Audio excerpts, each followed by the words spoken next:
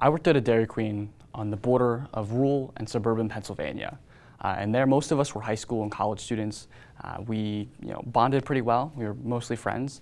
Um, and we bonded over our shifts and you know, making ice cream together uh, through those hot summer months. Uh, and one day, uh, one of my coworkers asked me uh, if I ever had dog before. And I thought that was a weird way to phrase the question, but I responded enthusiastically. I have my pet dogs, Daisy and Oliver.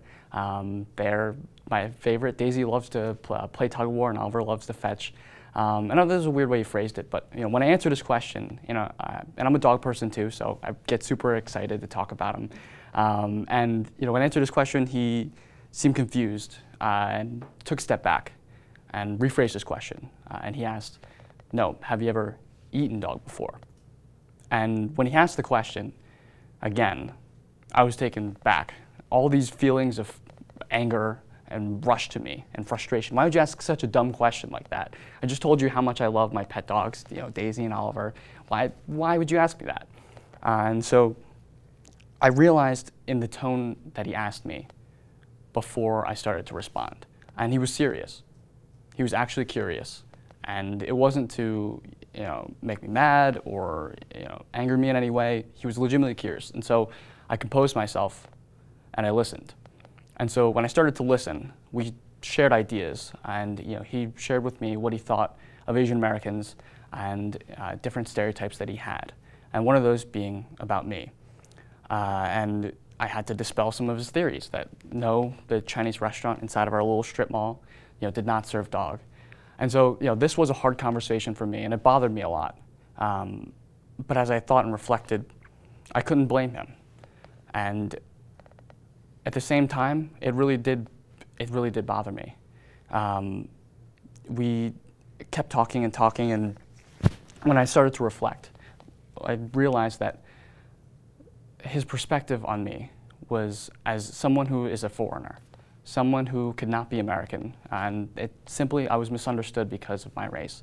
And so he was using uh, the perpetual foreigner stereotype. And so the perpetual foreigner stereotype is this idea that Asian Americans uh, and other immigrants from other communities um, can't be ever considered fully American. Uh, and so it's best summarized in this one question and phrase, where are you really from? And so if you're from an immigrant community or from the Asian American Pacific Islander community, you may have heard this question, you may have been asked, and it's often in efforts to figure out why you're not white. And so when people ask me, where are you really from, I typically answer and try to play a little game and challenge their expectations. Uh, and I do so by telling the truth. And so when people ask me, where are you really from, I'll tell them, Pennsylvania, born and raised.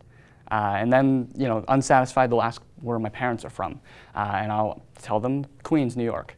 Uh, and so we'll keep going down this line to my grandparents in efforts to figure out why I'm not white or what kind of Asian I am. And then, then and there, get, they get their answer.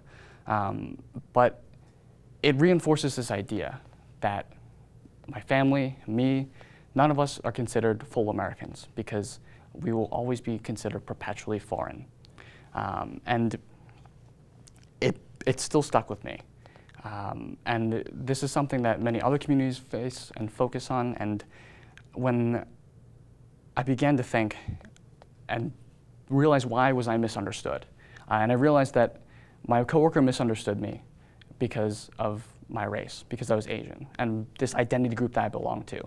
And as the 2016 election unfolded, I began to keep on reflecting on why people misunderstand each other, and, and why is it because of these you know, different identity groups we belong to.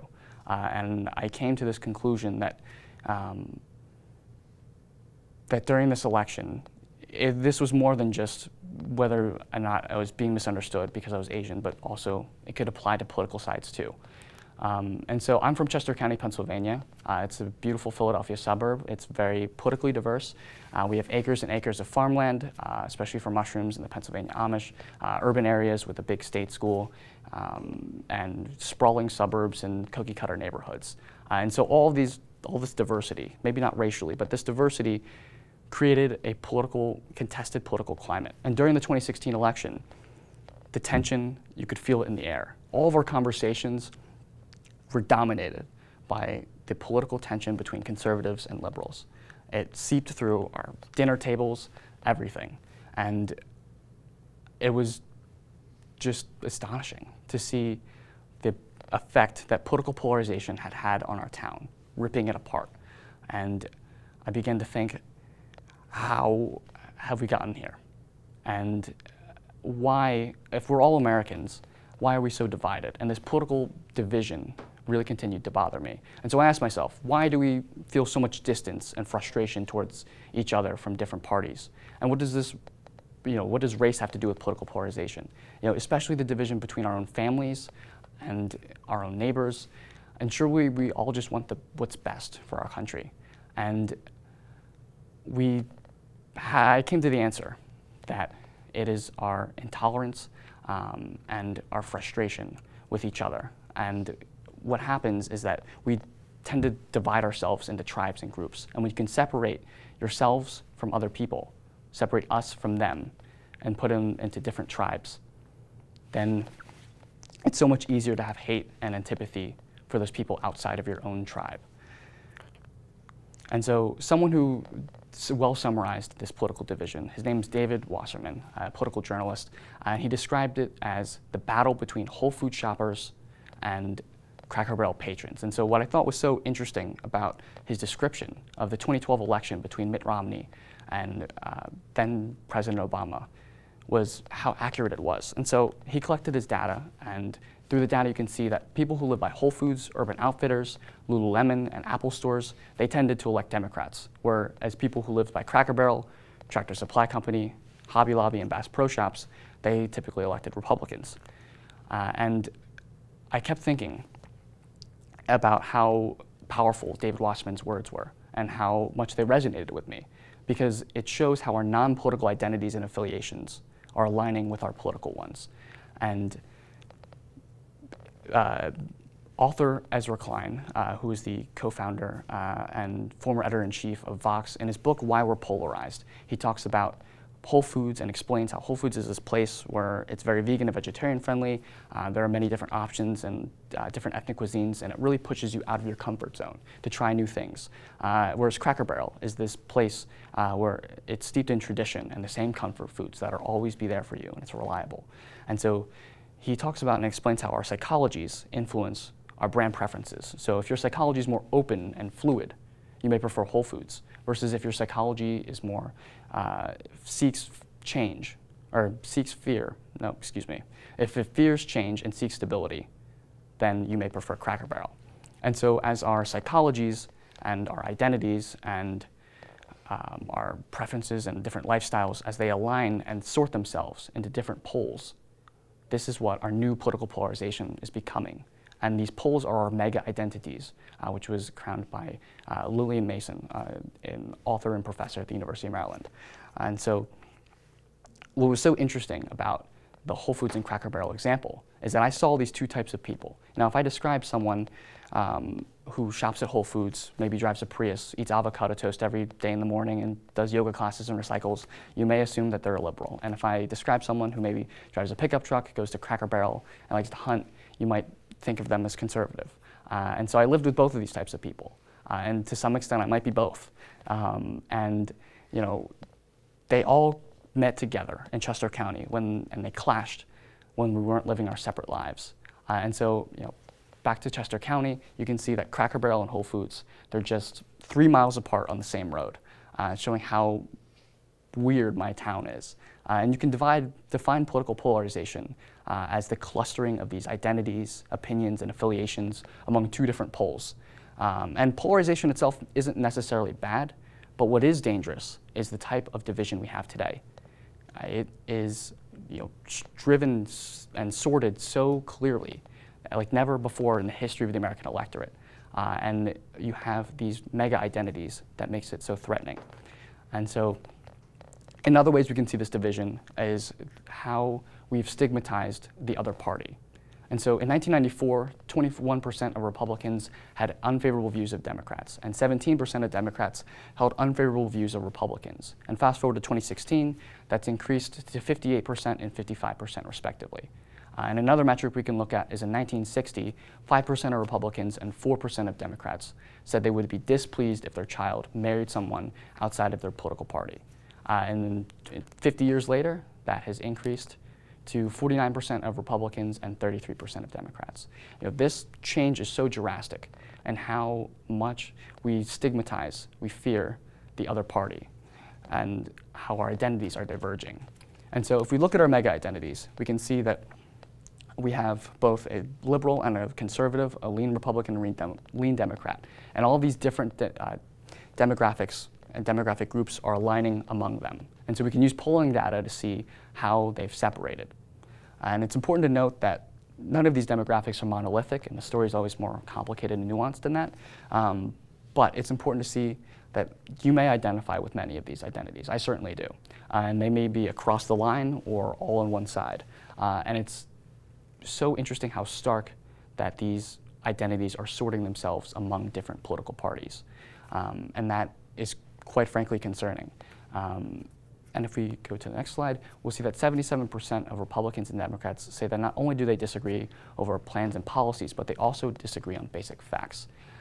And if we disagree on basic facts, it is concerning because as a democratic society, we do need a mutual understanding of the same basic facts and reality in order to function uh, and solve the issues at hand. And there are so many issues at hand. Uh, and I think a place we can start to move forward. Uh, and it's not a silver bullet by any means. And you know, we will need policy and reform to move forward. Um, but what we can all do as individuals is focus on the way we perceive others. And that is really important. And so what gets in the way of the way we perceive others is our stereotypes and stigmas that we hold for other people and the contempt we hold for groups outside of our own. Now, these stereotypes and stigmas, they harm us on an individual level, entire demographics, and everyone as a whole. On an individual level, we can go back to my days at Dairy Queen, uh, where my coworker stereotyped me. Um, and you know, when you stereotype someone or you stigmatize them and reduce them to that single narrative or story, you're essentially removing who they actually are and the reality from your perception. And that creates this distance. And with that distance, you can cast them as other or a part of a different tribe. And then you can use you know, hate and antipathy so much eat more. And entire demographics. If we look at Asian Americans and the perpetual foreigner stereotype, you know, in the past year, uh, and since the beginning of the pandemic, Asian Americans uh, have taken the blame of the coronavirus pandemic. So much of our frustration from the way the virus has disrupted our way of life is being misdirected towards them and stigmatizing them as the cause and carriers of COVID. And since then, there have been about 3,800 anti-Asian incidents recorded in just the United States alone. And some of these instan instances include you know, being called the coronavirus or uh, being attacked and harassed and you know, saying that these people can take COVID back to China, being attacked, being assaulted, uh, stabbed, lit on fire, shot, and killed. And this is all because of our stigmatization of Asian Americans and how we've casted them as the cause of the coronavirus through our rhetoric uh, and through our history. And so it's easy to attack Asian Americans because they're already otherized. They're already seen as perpetual foreigners or the yellow peril, but not one of us. And so the way that stereotypes and stigmas and our intolerance of other groups affect all of us as a whole is they complicate our ability to connect with each other. It allows identity to be, become not a strength, but a barrier between ourselves. And that is incredibly dangerous. You know, life is not a zero-sum game where you win at the detriment of your opponents, especially if, if your opponents are simply your neighbors and your fellow Americans. You know, in order to move forward, we really must come together and we cannot continue uh, to let our different identity groups divide us in such a pluralistic and democratic society. And I do have some steps to move forward. Uh, and these are steps that every individual can take to work on the way we perceive each other. Um, and the first way is to start consuming stories uh, where the main characters don't look like you. And a great way to do this is through books and poetry, um, but if you're bad at reading sometimes, like me, uh, a great way is through streaming services as well. Um, and another thing we have to do is mix up the type of media, informative media that you consume. And so this is a great opportunity to support local journalism and publicly funded programs. Um, for instance, you know, social media uh, is where a lot of us get our news, and the algorithms are designed to show you what you want to see. So break free from that. Uh, challenge your perspectives. Uh, another way to do that is by, when permissible, travel with the intent to learn about the local people and culture. And don't forget to reflect. And by doing so, consciously commit yourself to becoming better and not allowing these stereotypes and stigmas to act as barriers between us. And you know, in doing so, you can establish a growth mindset and because it's okay not to be perfect, as long as we're better than yesterday.